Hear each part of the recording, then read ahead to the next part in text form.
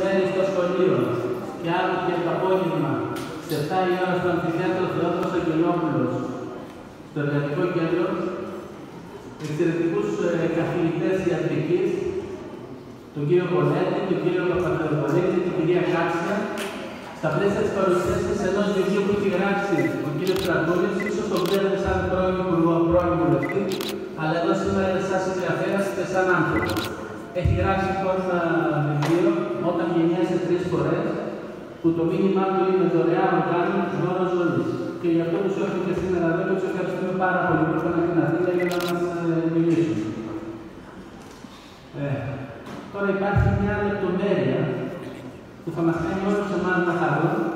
Οι καθηγητές που θα μιλήσουν το απόγευμα της ιατρικής εντελώς συμπτωματικά είναι όλοι καραματιανοί. Λοιπόν, πρώτος ε, ο μιλητής δεν θέλω να σας πω πολλά λόγια, θέλω να ξεκινήσουμε και στο τέλος να τα κλείσουμε μαζί. Να ευχαριστήσουμε και τα παιδιά του Τετάρτου Λυκείου που ήρθαν να παρακολουθήσουν την ε, σημερινή εκδήλωση και πιστεύω ότι θα είναι κέντρο ε, για όλους. Όλοι έχετε πάρει ένα βιβλίο του κ. Στρατούλη, το οποίο είναι προσφορά από το Νάσο Καρδιοχειρουργικό Κέντρο. Πρώτος ομιλητής είναι ο κ. Ιωάννη Βολέτη. Είναι καθηγητής παθολογίας νεφρολογία εργάζεται στο Λαϊκό Νοσοκομείο Αθηνών και είναι διευθυντής του ΟΝΑΣΙ Καρδιοχειρουργικού Κέντρου. Δεν θέλω να πω περισσότερα για τον καθηγητή, θα καταλάβετε μόνοι τη μιλή, θα τα καταλάβετε μόνοι σας. Παρακαλώ κύριε Πολέτη.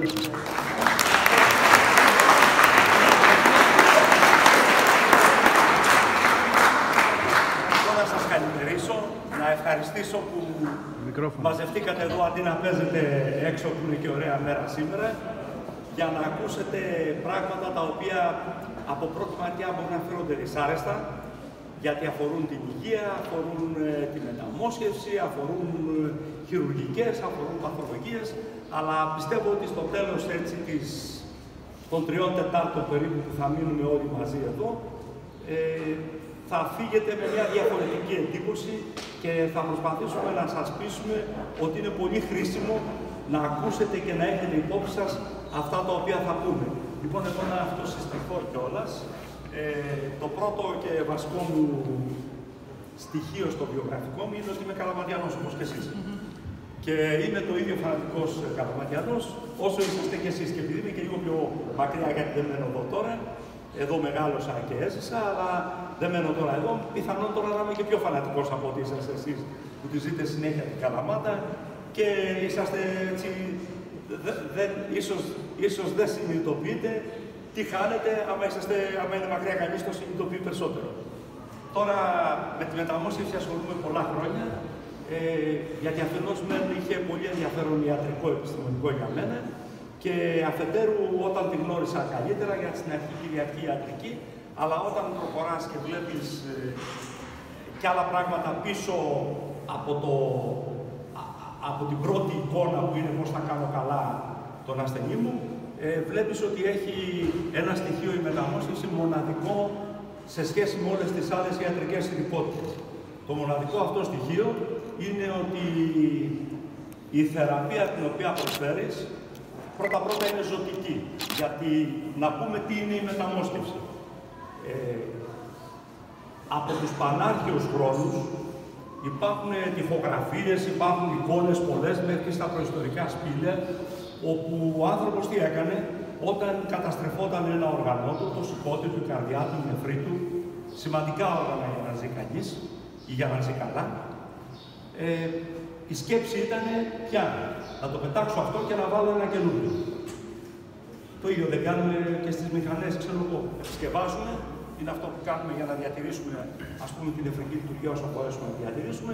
Αλλά άμα χαλάσουν εντελώς, ξέρω εγώ, δεν είμαι και καλός στα μηχανολογικά, αλλά εν περιπτώσει υπάρχουν κομμάτια του αυτοκινήτου τα οποία κάποια στιγμή παρόλε τι επισκευές χαλάνε, τότε θέλει αντικατάσταση. Αυτό λοιπόν το απλό ήταν στη σκέψη του προϊστορικού ανθρώπου. Ότι χάλασε το σηκώτη, δεν μπορούμε να κάνουμε τίποτα πλέον γι' αυτό. Για να ζήσει ο άνθρωπος πρέπει να βάλουμε ένα καινούριο σηκώτη. Αυτό είναι η μεταμόσχευση. Ένα όργανο το οποίο καταστρέφεται από, από μία πάθηση και είναι πάρα πολλές οι που καταστρέφουν την καρδιά, τους πνεύμονες, το σηκώτη, τους νεφρούς, που είναι οι βασικές μεταμοσχεύσεις οργάνων. Στην αρχή δίνουμε θεραπείες, συντηρούμε τον κόσμο, προσπαθούμε να τραβήξεις περισσότερο η περίοδος που μπορεί να λειτουργήσουν τα όργανα αυτά έστω και με προβλήματα. Κάποια στιγμή όμως τελειώνει το περιθώριο. Πρέπει λοιπόν να τα αντικαταστήσουμε με ένα καινούριο όργανο. Αυτό είναι η μεταμόσχευση.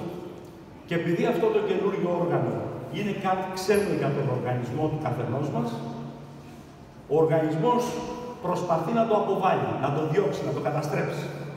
Γιατί αν δεν ήταν εκπαιδευμένος με το αμυντικό του σύστημα, που λέγεται ανοσολογικό σύστημα, ο οργανισμός μας να καταστρέφει το ξένο, τότε μικρόβια, καρκινικά κύτταρα, τοξικές ουσίες, στις οποίες εκτιθέμεθα καθημερινά, τι θα κάνανε, θα μας κάναν άρρωστους, θα χάναμε την υγεία μας και πιθανόν και τη ζωή μας. Αυτό λοιπόν το αμυντικό μας σύστημα πρέπει να το ξεγελάσουμε με διαφόρους τρόπους που χρησιμοποιούμε και ένα όργανο που, που δίνουμε στο, σε μένα, στον α, στο β, πρέπει να μην το αναγνωρίσεις σαν ξένο ή να μην το αναγνωρίσεις σαν πολύ ξένο και να το αποδεχτεί. Αυτή λοιπόν είναι η μεταμόσχευση. Η μεταμόσχευση καρδιά, πνεύμα και σηκωτιού είναι ζωτικής σημασίας γιατί αλλιώς αυτού που έχουν καταστραφεί αυτά τα τρία όργανα θα χάσει τη ζωή του, αν δεν μεταμοσχευτεί. Η μεταμόσχευση νεφρών είναι λίγο διαφορετική.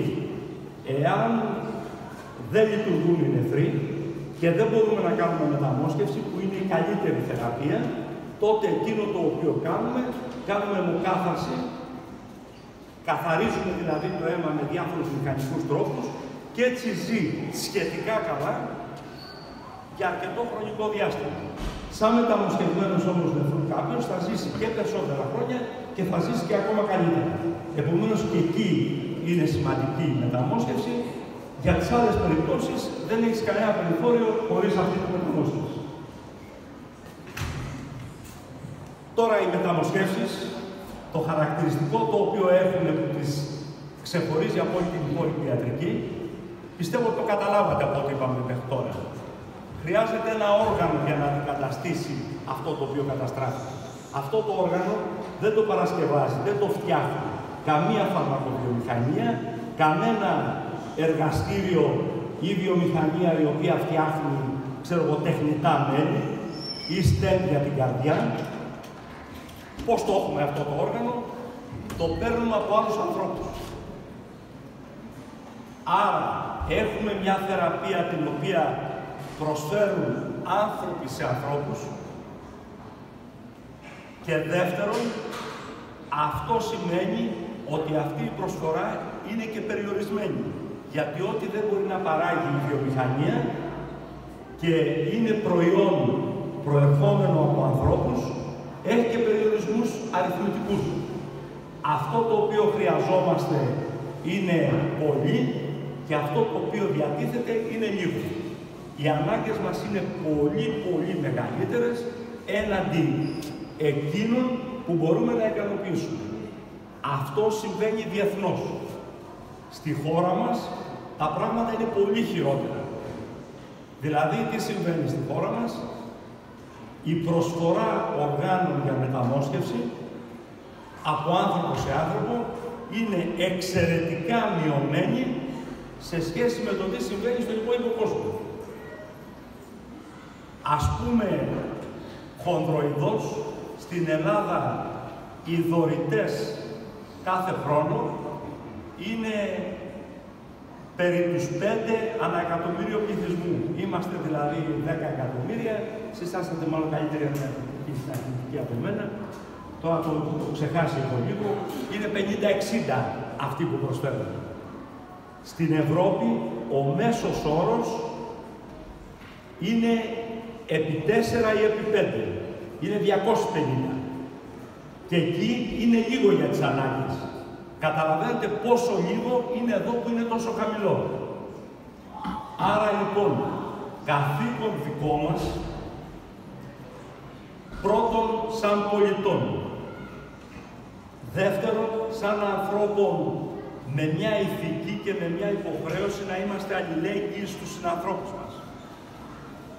Όμως, όχι μόνο ως πολιτών, αλλά και ανθρώπων που πρέπει να σκεφτούμε και το δικό μας συμφέρον ή το συμφέρον των αγαπημένων μας ανθρώπων. Είναι η δωρεά και η διαθεσιμότητα αυτών των οργάνων, η, η δωρεά οργάνων να αναπτυχθεί, γιατί αν εμείς ή κάποιο αγαπητό μας πρόσωπο έχει τέτοια ανάγκη, εάν δεν έχει αναπτυχθεί αυτό το αίσθημα αλληλεγγύης, όλη αυτή η διάθεση να προσφέρουμε, θα οδηγήσει στο να μην μπορούμε να πάρουμε και εμείς εκείνο το οποίο χρειαζόμαστε. Άρα λοιπόν, δεν είναι μόνο καθήκον, είναι και συμφέρον.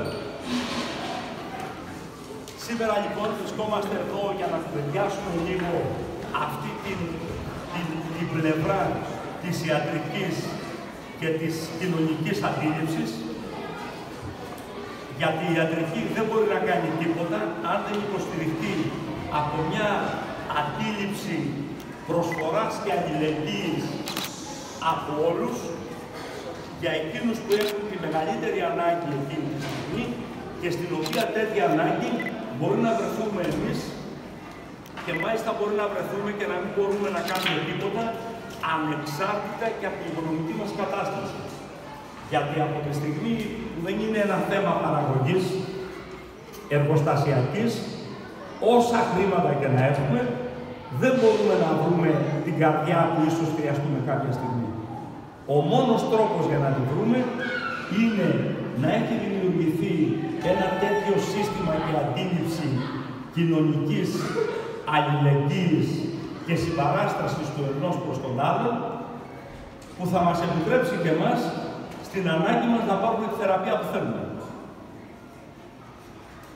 Η κυρία Κάψια, η οποία είναι φίλη και συνεργάτης και αυτή καλαματιανή στο τμήμα μας, θα σας μιλήσει λίγο περισσότερο για αυτή τη δωρεά, η οποία μπορεί να προέρχει ή από άτομα που έχουν χάσει τη ζωή τους, ή από άτομα τα οποία ζουν, είναι υγιεί, είναι μια χαρά και μπορεί να δωρήσουν κάποιο οργανό τους, κυρίως νεφρό και λοιπά. Και στη συνέχεια ο Δημήτρης ο Στρατούλης, ο οποίος εκτός από τα λόγια που λέμε εμείς, έχει την προσωπική του εμπειρία για να, σας, για να μας εξηγήσει σε όλους πώς αισθάνεται αυτός που απολαμβάνει τη δωρεά όταν την έχει ανάγκη και ο ίδιος όπως έχει δείξει με το παράδειγμά του και τι υποχρέωση αισθάνεται για να ενισχύσει αυτό το κίνημα της δωρεάς, αυτό το κίνημα αλληλεγγύης, πόσο σημαντικό είναι για όλους μας να συμμετάσχουμε και πιστέψτε με πόσο πιο καλά θα αισθανθούμε όταν ξέρουμε ότι και εμείς έχουμε αυτή τη διάθεση της προσφοράς. Λοιπόν, εγώ να σας ευχαριστήσω πάρα πολύ για την παρουσία σας και την προσοχή σας και να έρθει η Ελένη Κάψια να συνεχίσει για τη δωρεά.